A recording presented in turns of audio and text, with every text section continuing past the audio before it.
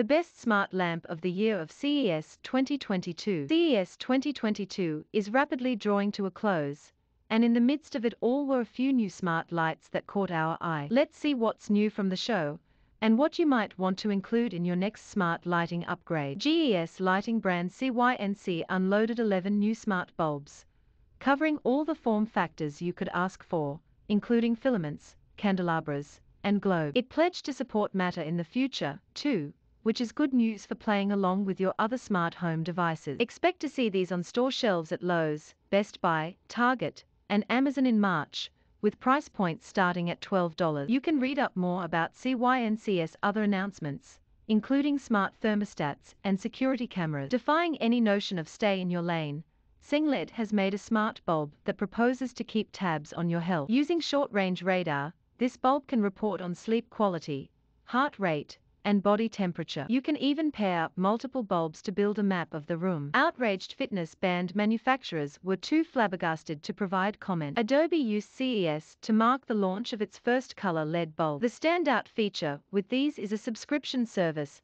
that gives access to a range of advanced automation features. That way, you can set multiple layers of conditions for the lights to be activated, set blackout periods, and tie in with other Abode Smart Home products. On that note, you should read up about its new security camera. Gamers have a new option for their streaming setup with the new Twinkly Dots string light. In addition to checking off the usual boxes for Google Assistant, Alexa, and Siri control, the Twinkly Dot lights also play nice with Razer Chroma and Omen Light Studio. With a USB-powered option and the ability to mirror on-screen action, these are shaping up to be a fine backdrop for your next Twitch session. Govee is upgrading its hex wall lights to have a cool cube effect on them. With three separate sections per tile and independent LED controllers throughout, you can generate some pretty cool combinations. The Glide 3D Hexa wall panels should be coming out this summer. TP-Link smart home brand is making its American debut with a host of products. On the lighting side, it has a light strip and a bulb,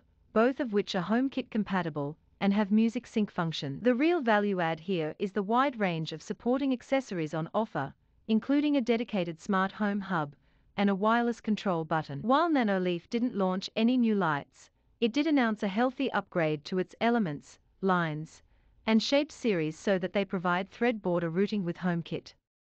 This way those fully entrenched in the Apple ecosystem can properly enjoy the benefits that a low-power mesh smart home network can offer. That's a quick pass at what's new in the smart lighting world, but there's loads more CES 2022 coverage to check out.